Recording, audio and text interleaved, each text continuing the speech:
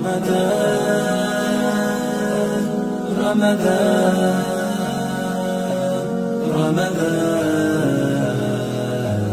رمضان مرحبا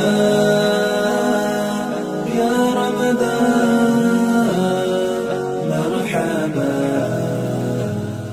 السلام عليكم ورحمة الله وبركاته الحمد لله Alhamdulillahi rabbil alamin wa bihi nasta'in ala umuri dunya waddin. Allahumma salli wa sallim ala sayyidina Muhammadin wa ala alihi wa sahbihi ajma'in.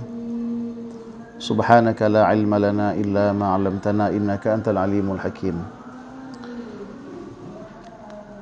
Hadirin pemirsa yang dirahmati Allah Subhanahu wa taala. Eh, kita akan memasuki bulan suci Ramadan.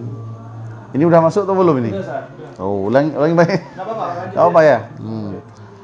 Eh, hadirin yang dirahmati Allah Subhanahu wa taala. Kita selaku manusia pasti punya kebutuhan-kebutuhan di mana untuk mencukupi kebutuhan itu kita diharuskan oleh agama kita, diwajibkan untuk mencari nafkah atau bekerja.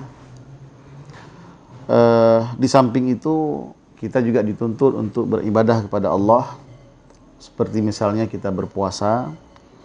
Maka pada hari ini kita berhadapan dengan dua perintah Allah Subhanahu wa taala. Pertama, kita diperintahkan untuk berpuasa. Seperti yang sering kita dengarkan dalam Al-Qur'an, A'udzubillahi minasyaitonirrajim. Bismillahirrahmanirrahim. Ya ayyuhalladzina amanu kutiba alaikumusiyam. Ilah sampai akhirnya. Jadi di situ jelas bahwa kita diwajibkan untuk berpuasa. Tapi di sisi lain kita pun dituntut untuk mencari nafkah. Maka ada di antara saudara-saudara kita yang bulan Ramadan itu juga dituntut untuk bekerja keras. Misalnya ada tukang bangunan, tukang pekerjaan yang berat lah. Jadi lalu bagaimana mereka menyikapi problematika ini? Di satu sisi mereka harus berpuasa, tetapi apabila mereka melanjutkan puasa, otomatis mereka tidak sanggup bekerja mencari, mencari nafkah. Apakah agama membolehkan bagi mereka untuk tidak berpuasa?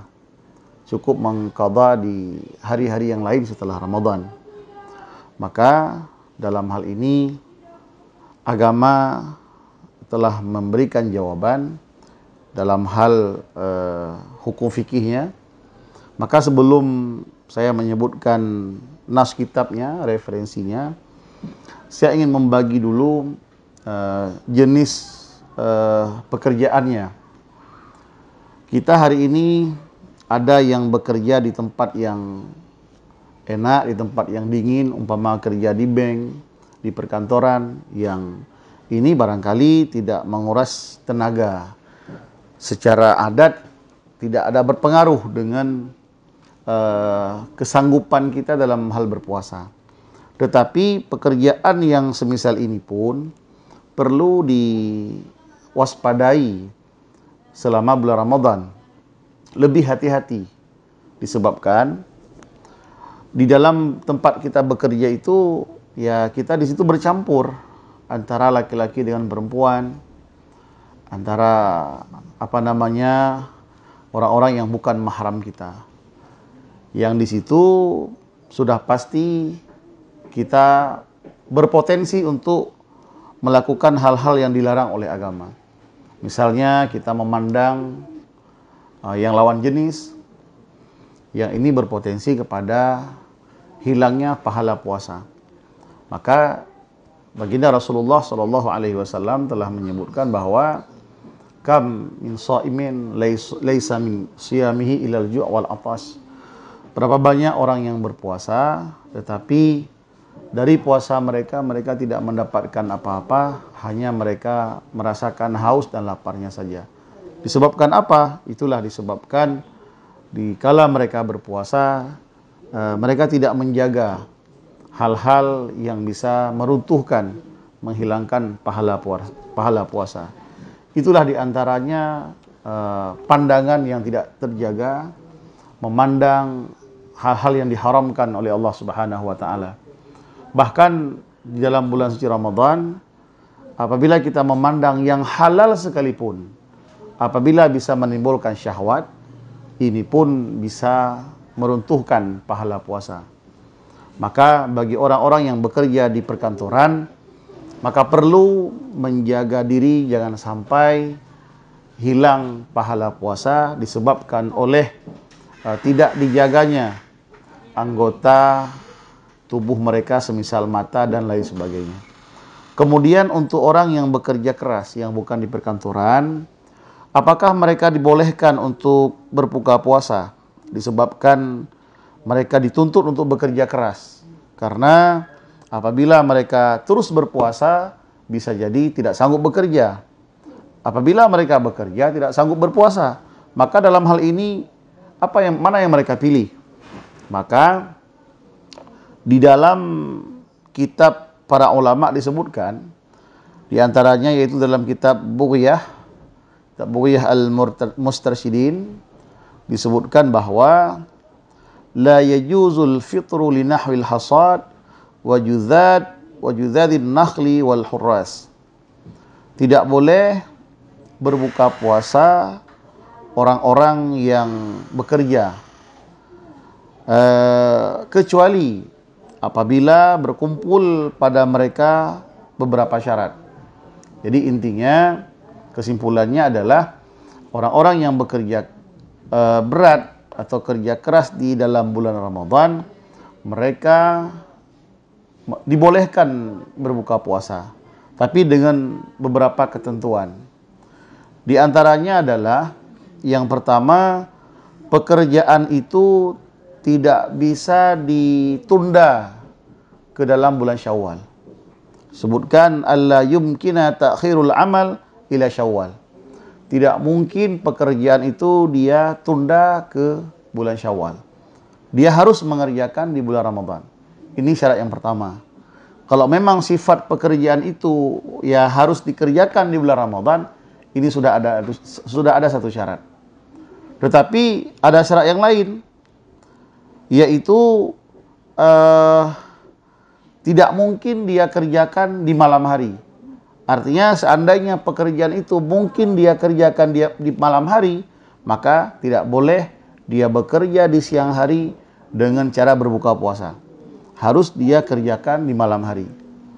Kalaupun pekerjaan itu tidak mungkin dikerjakan di malam hari, harus dia kerjakan di siang hari. Syarat selanjutnya adalah dia malamnya tetap harus niat puasa. Walaupun besok dia yakin akan berpuasa akan bekerja berat, otomatis dia tidak sanggup harus berbuka puasa walaupun dia yakin begitu, malamnya dia tetap harus berniat. Dan paginya dia tidak boleh langsung berbuka puasa. Harus dia bekerja dulu, nanti dalam perjalanan dia bekerja, apabila tidak sanggup, benar-benar tidak sanggup, barulah boleh dia berbuka puasa. Kemudian eh, dikala dia berbuka puasa, dia harus berniat bahwa puasa itu adalah karena rukhsah daripada agama.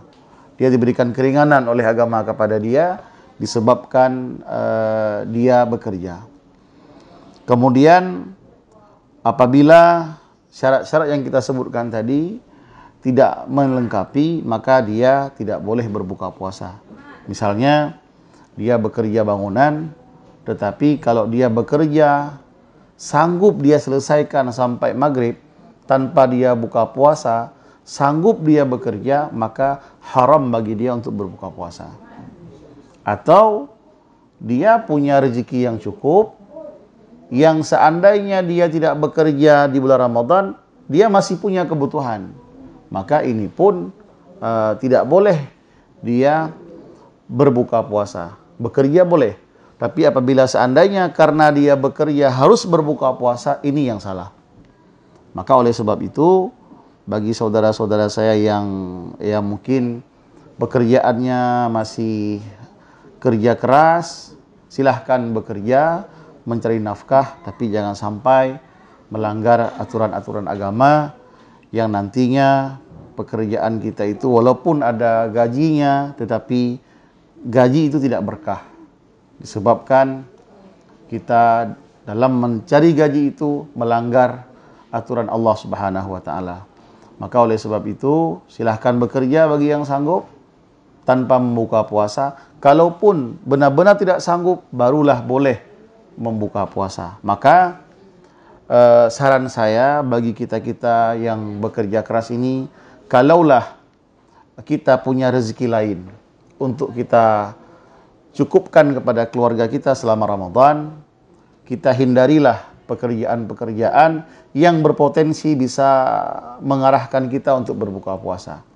Karena apabila puasa telah kita buka, walaupun kita niatkan untuk mengqadha di kemudian hari, ini barangkali sering kita lalai, lupa sehingga masuk Ramadan tahun depan kita belum sempat mengqadhanya dan ini bisa menambah konsekuensi yang lain. Itulah uh, pemirsa sekalian apa hukumnya uh, orang yang bekerja atau bagaimana sikap orang yang bekerja selama bulan suci Ramadan. Mudah-mudahan kita-kita semua ini bisa menjalankan kewajiban-kewajiban yang diperintahkan oleh Allah yakni berpuasa dan kewajiban mencari nafkah tanpa melakukan maksiat, kita melakukan perintah Allah, tetapi di sisi lain tetap kita jaga jangan sampai disebabkan kita mengerjakan perintah Allah tetapi menginjak aturan Allah yang lain. Hadanallah wa iyyakum ajma'in wallahul muwaffiq ila qawmit thoriq. Assalamualaikum warahmatullahi wabarakatuh.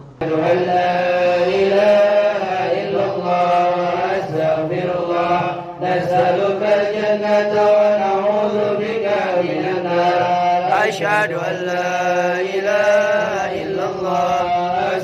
أستغفر الله. نسألك الجنة ونعوذ بك من النار. أشهد أن لا إله إلا الله. أستغفر الله.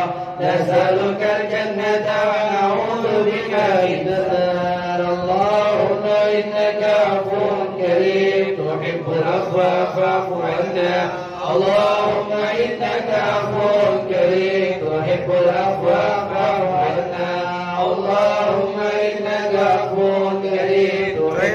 العفو عنا يا كريم يا عظيم يا عظيم يا عظيم. أنت إلهي لا إله غيرك اغفر الذنب العظيم فإنه لا يغفر الذنب العظيم إلا العظيم. يا عظيم